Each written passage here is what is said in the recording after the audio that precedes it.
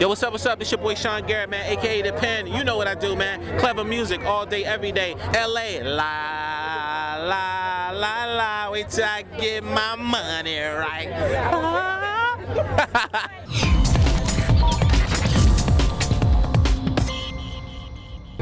looking forward to when it comes to, to performances tonight? I'm actually going to be um, really excited. Everybody's performing, first of all. That's what's going to be so beautiful.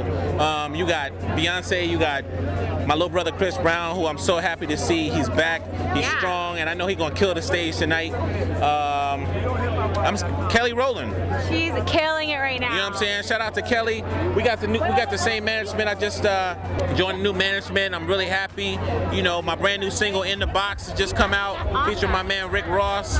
This is gonna be amazing. This is gonna be the biggest night. Beyonce, you know I love you to death.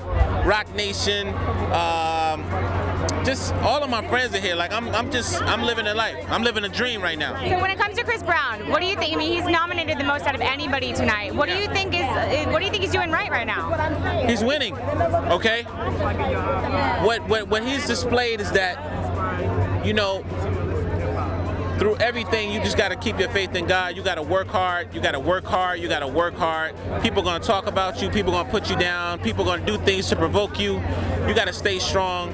And uh, I just love him. I love Chris, man. That's my little brother. You know, he's been through a lot, and um, you know, he learning. He, you know, he, he's a kid. He got, he got everything. You know what I'm saying? He, I mean, he just has everything. So it's hard to kind of keep your nose clean. You know what I mean? Um, Cause he's a kid, cause he's so young, you know what I'm saying, and, and he just he go outside and, and, and people, you know. So I love him, man. Chris, stay positive, stay stay strong, brother. I love you. And what about you? What's next for you? What can we expect? Any collaborations coming up in the future? Well, my album's coming, you know what I'm saying. So so uh, I got so many things going on right now. Um, I got a new TV show that I'm starting to record. No way. Uh, yeah, yeah. I got a new TV show that I'm actually uh, filming next month. Uh, my new single in the box.